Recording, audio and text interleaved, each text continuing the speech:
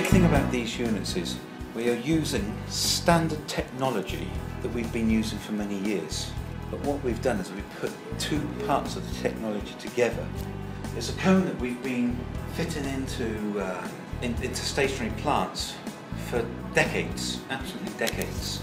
And then what we've done here is we've got then the frame of existing units like we have the QH441 and we've taken the standard frame of the unit we've been selling for quite a few years now and it was before another crusher was in, in this frame as well.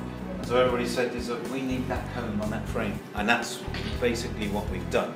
We're making changes to the frame, not big changes, and we've managed then to put this very tall cone onto the frame.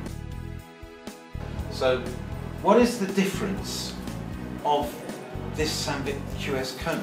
And the QS cones have a, a feed opening up to twice as large as a traditional cone, which in turn will give you as much as 90% more production.